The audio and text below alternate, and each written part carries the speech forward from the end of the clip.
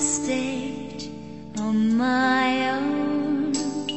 I never said my words, wishing they would be heard. I saw